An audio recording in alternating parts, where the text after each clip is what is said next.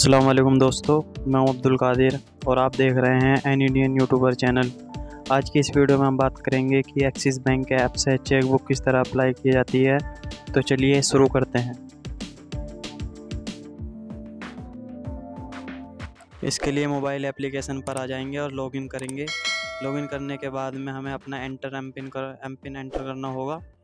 और उसके बाद में हमारे सामने इस तरीके का इंटरफेस खुल के आएगा। ये आपकी नेट के ऊपर डिपेंड करता है और फिर यहाँ थ्री डॉट्स पर क्लिक करेंगे। थ्री डॉट्स पर क्लिक करने के बाद में हमारे सामने नीचे ही चेक का ऑप्शन दिखाई देगा। इस पर हम क्लिक करेंगे।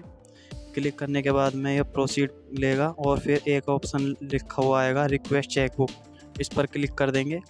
इस पर क्लिक करने के बाद में नेक्स्ट पेज आपके सामने खुल कर आएगा, जो कि इस तरीके का होगा। इसमें आपकी डिटेल शो होगी। अकाउंट नंबर ये सब चीज़ वगैरह, आपका एड्रेस भी होगा इसमें। तो इसमें मैंने अपना अकाउंट नंबर हाइड रख रखा है। इसमें आपको तीन ऑप्शन मिलेंगे, पच्चीस, पचास और सौ नंबर के पे चेक बुक की।